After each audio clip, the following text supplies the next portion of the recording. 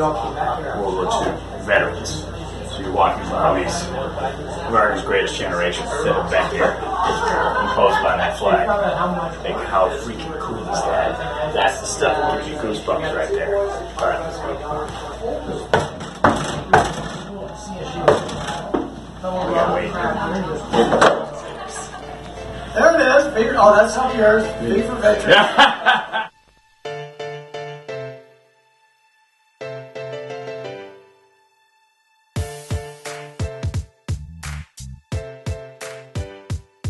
This is Glen.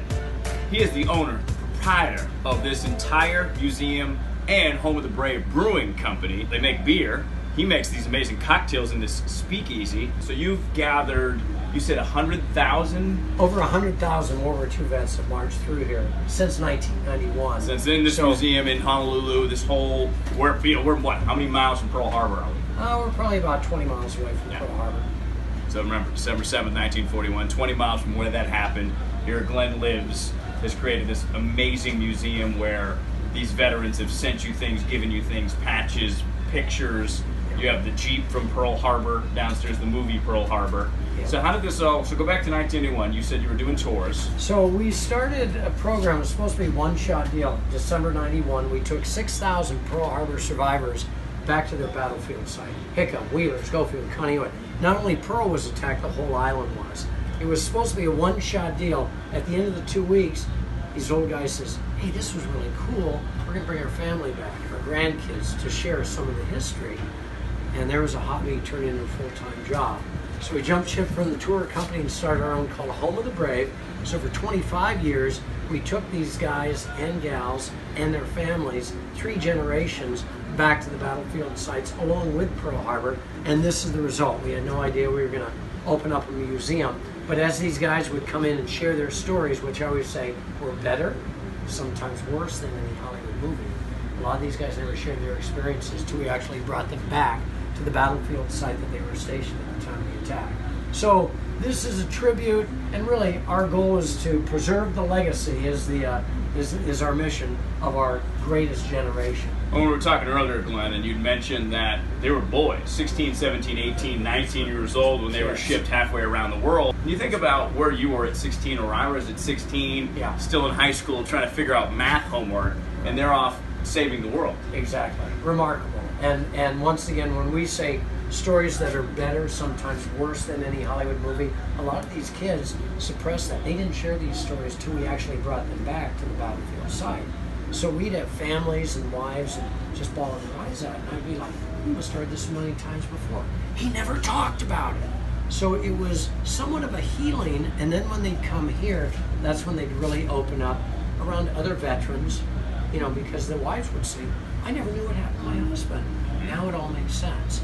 So because the, the, the collection, you know, people say, what's your favorite, you know, article or, or your artifact in here? It's the photos. Have a crap about the guns, the knives, and so on. It's the stories that go on in the photos that are Which is cool because they're lined on the walls on the way up to the speakeasy here throughout the museum are just pictures of World War II veterans. our goal with this whole thing, you know, we do cocktails and beer, but really our goal is to keep these stories alive for a younger demographic that didn't get a chance to hear it from dad or grandpa. It's great grandpa to a younger demographic now. So these stories that I say are better, sometimes worse than any Hollywood movie, are stories that are on the wall or in the artifacts. When we get something donated to us, we don't want a gun, we don't want a knife, we don't want a uniform unless we know the story. So we always ask, hey, send us a photo of dad or grandpa and great grandpa, you know, and where did this artifact come from and so on. So this museum is kind of a living, breathing museum, sharing stories and keeping the, uh, the stories alive for our next generation.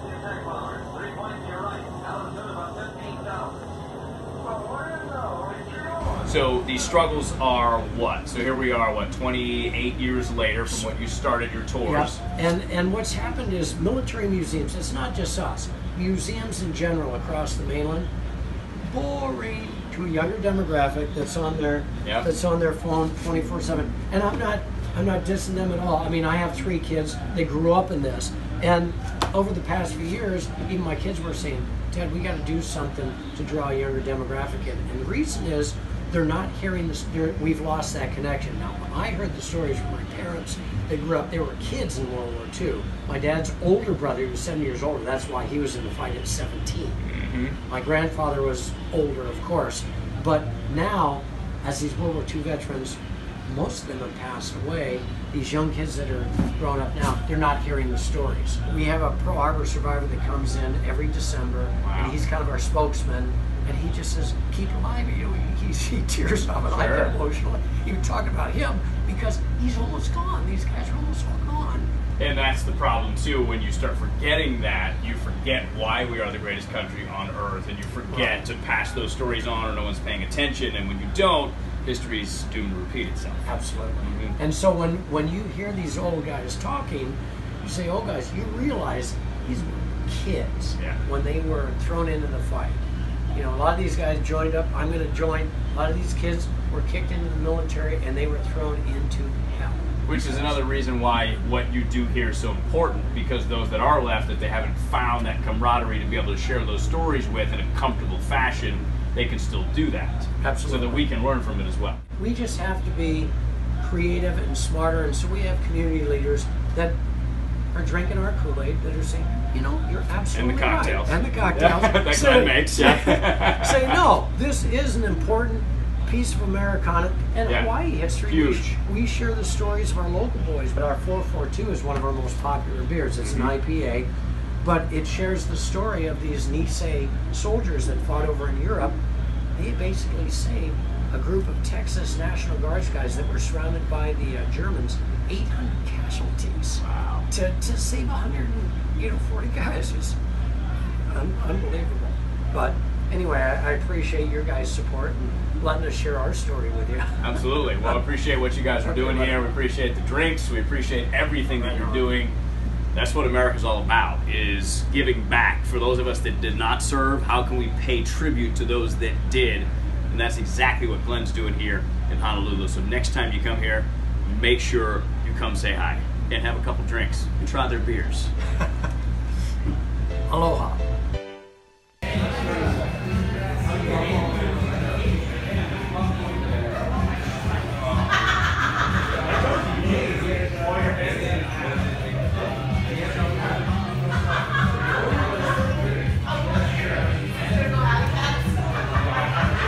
Is the Museum in Honolulu, home of the Brave Brewing Company.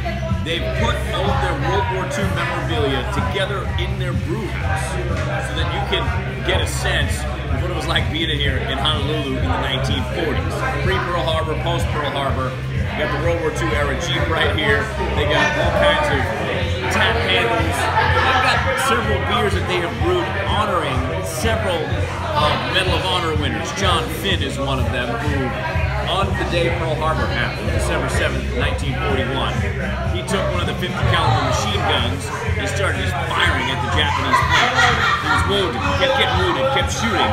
They made him go get attention, medical attention, in which he went back out in the field and directed the refueling and the restocking, resupplying of airplanes so they could go back up and fight the Japanese.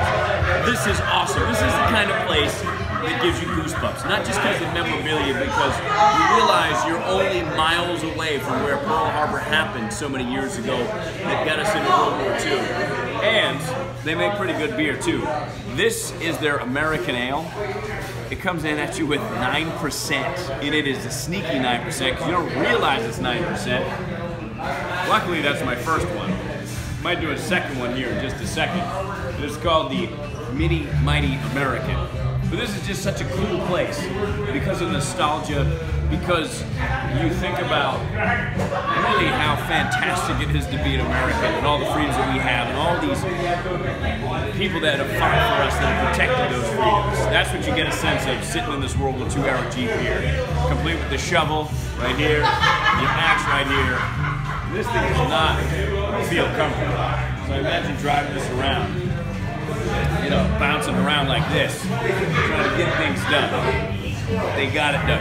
And that's why we're able to sit here today and drink these beers. So from the Brewmance, everybody that served, from home, the Brave Brewing Company's Museum in Honolulu. Cheers. And if you want to help, and I urge you to, Lady Brewmance and I are going to be helping as soon as we get out of here. Go to their GoFundMe page. You have to keep this place open. We have to. It's our mission now because Glen has been working his butt off for the last almost 30 years to keep it open. We could chip in as little bit. Okay, it's GoFundMe. So GoFundMe.com. Remember, honor, salute. That's their nonprofit arm of their Home of the Brave Brewing. So go there, check it out. Right, Glen? Absolutely. Thank you for your support. Let's save the stories, histories, and artifacts of our greatest generation. Amen to that. Cheers.